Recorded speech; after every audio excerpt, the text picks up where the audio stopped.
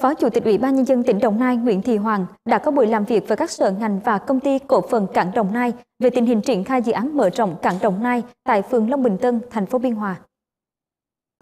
Theo báo cáo của công ty cổ phần cảng Đồng Nai, dự án mở rộng trên có tổng diện tích 16,3 ha. Trong quá trình thực hiện, công ty đề nghị phân kỳ đầu tư dự án và được Ủy ban nhân dân tỉnh chấp thuận.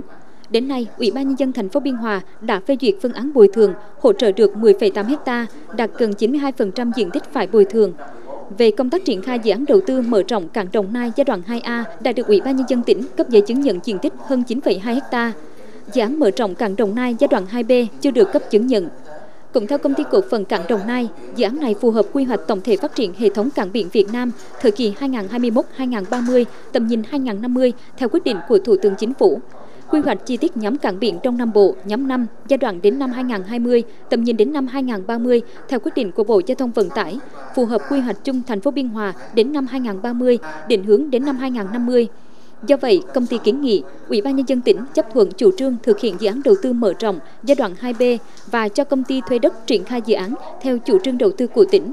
Đồng thời chỉ đạo Ủy ban nhân dân thành phố Biên Hòa và các sở ngành liên quan tiếp tục triển khai giải phóng mặt bằng, thu hồi đất còn lại. Sau khi nghe ý kiến chủ đầu tư và các sở ngành liên quan, Phó Chủ tịch Ủy ban nhân dân tỉnh Nguyễn Thị Hoàng cho rằng dự án mở rộng cảng Đồng Nai giai đoạn 2B là dự án đã được duyệt Căn cứ các điều khoản của luật đất đai, luật đầu tư, luật hàng hải, dự án này thuộc danh mục ngành nghề ưu đại đầu tư. Dự án không thuộc trường hợp đấu giá, đấu thầu. Do đó, nhà đầu tư cần thực hiện các thủ tục để chỉ định nhà đầu tư